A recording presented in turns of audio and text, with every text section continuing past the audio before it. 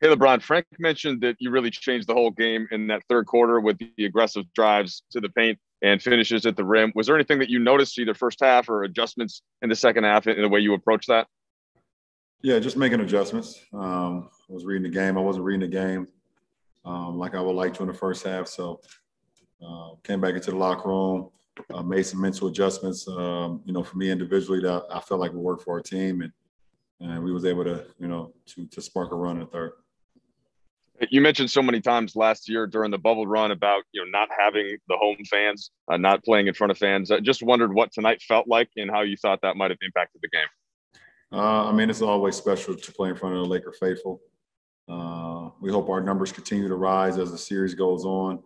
Uh, we can get more and more fans in the building, um, but it's a beautiful thing. Um, hasn't been a playoff game for the Lakers in Staples Center since uh, 2013, so it's a special night and uh, we just try to reward our fans um, with their loyalty uh, that they have for us, and just try to play the game the right way. Dave McMenamin. LeBron, maybe the moment the fans seemed to enjoy the most was late when you were yo-yoing the ball with Crowder guarding you in isolation, and then eventually you, you scored the reverse layup. Uh, you've had your run-ins with Crowder in the past. I don't even know if that play was motivated by that or just you know you you you feel in the moment. Uh, can you just walk us through? What's that like for you to, to feel the the arena um, you know enjoying the moment in, in, a late playoff game that you guys are taking control of? Um, always you know for, for for me and for our ball club we always try to make uh, plays um, where we can get each other excited. We can get our uh, our fans involved get our fans excited about it. Um, and um, because it just it brings so much excitement to the game um, and it's a moment, things can be momentum swings. That you know, it can, it can work in our favor. Um, so um, that, that, was one of those instances where we, um, you know, had an opportunity to kind of make a momentum play and was able to deliver. Dan Woike. LeBron, uh, kind of a two-part question. What did, what did you make of Devin Booker's foul on Dennis? And then, kind of along those lines, do you feel like your guys' sort of size and physicality has them a little f- flustered in this series? Uh, well, I thought the play wasn't a basketball play. Uh, many times someone gets airborne. Um, you know, shoving them out the air can be very dangerous. Um, so that's that. Um, two, um, you know, we, we, we're not looking at like that. We're just trying to play our game. Uh, we want to continue to, um, um, you know, get the ball in the paint, uh, but we want to shoot the ball. and I thought Wes Matthews game ball to him. He did a great job of spreading the floor tonight and, and opening up for us, opening them lanes up with his uh, uh, his back-to-back threes that he has. So um, you know, whatever whatever game, you know, every game is going to be different, and we have to be able to adjust it. Bill Oram. LeBron, what's been your view of what Chris has been dealing with in this series? And you know, he's obviously been battling through that shoulder in all three games, um, and obviously was on the floor uh, in the fourth. What, what's just been your view of kind of what he's been going through for his team, and and and kind of what this series has been like for him?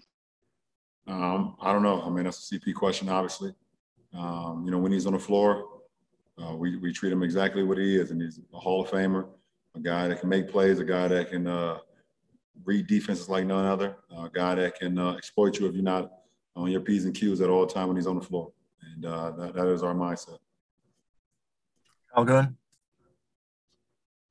Hey, LeBron, I know it's nothing new for for you to kind of experience, you know, people speculating about your health, your ability, all these things. Um, but in, in sort of with everything that's gone on with your ankle this season, did something just feel good about being able to drive like you did tonight and, and showing people that you're you're very capable of that right now? Um, well, I mean, it, it, feels good for me personally to be able to to make plays for our team, for my teammates. That's all I care about. I don't care about what anyone else thinks outside of our locker room, outside of our support system, outside of our group. Um, I've always been that way. Um, obviously, it's been a rough year on me as far as physically uh, with my ankle and dealing with that, and still trying to get it back to where it was before the injury. Um, but every day is a, is a, is a step forward, and I'm um, gonna continue to put the work into it with my treatment uh, around the clock, uh, getting it to, like I said, uh, to where it was before the before the injury. Um, and until then, my teammates will continue to hold me down, and I'll try to make plays for them. Mark Medina. LeBron, obviously Anthony had a really good performance tonight, but considering what he was going through with his injury, what jumped out to you as far as what his mentality was to make that happen? Um, just aggressive. Um, looking for a shot, getting into the paint. Um, you know, getting fouled, knocking his free throws down. He's just um, ultra aggressive right now since game one, and we're going to need that uh, to continue to happen. Um, and like I said, you know, it starts with him. You know, and trickles off to me. I'm able to make things happen. But uh, when he's aggressive, um, we're all aggressive. Last two questions, Melissa Rohlin. Hey, LeBron, on the flip side of having so many fans back in arenas, you were vocal about one of the incidents involving a fan yesterday. Do you think enough has been done to protect the players? Yes, absolutely. I mean, there's, there's been enough done to protect the players, but we got to continue to do that. Um, and the NBA did a great job, and also the respective teams, uh, Philly, New York, and I also seen uh, Utah as well, um, protecting our players um, by banning the individuals that um, had these instances that's uh, not a part of uh, cheering for your fans or heckling players or uh, being as loud as you can. Um, all the heckling, that's great. Um, you know, we, we, we, don't mind that. We're we to hear the boos. We understand that. Maybe be a, a couple curse words here and there. Uh, you know, and we understand that as well. Um, I actually, I love that. Um, I'm absolutely okay with that. But there's a line, and I think uh, we're all we're all grown, and we all we all know what the line is when you cross it. So, um, you know, to see you know, Russ get popcorn thrown on him, uh, you know, leaving the game. Um, to see, um, you know, Trae Young uh, spit, get spit on, um, and, and, to hear about Ja's family, um, you know, in the crowd in Utah. Those are things that's not going to represent our league, uh, represent our players, or represent these respective teams. And those teams handled it with the uh, utmost uh, professionalism. So, um, you know, kudos to the league, kudos to the Knicks, Jazz, um, and uh, Philly, um, and we want to continue to move forward. Last question, Barry Bloom.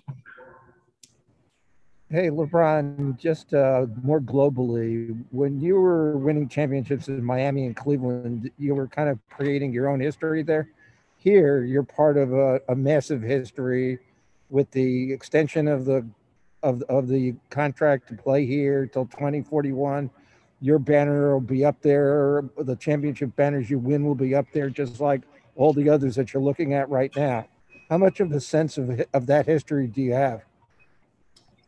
Um, I got uh, every sense of the history of this Laker franchise.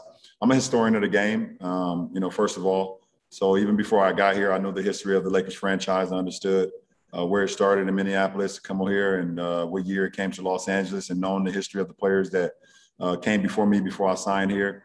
Um, in the history from the 60s uh, all the way to the uh, you know 2000s to the 2010s and things, and the players and the owners um, and the the coaches and and and the the memorable shots and the memorable plays and memorable everything you know of, of this franchise. Um, and it's a it's a historical franchise.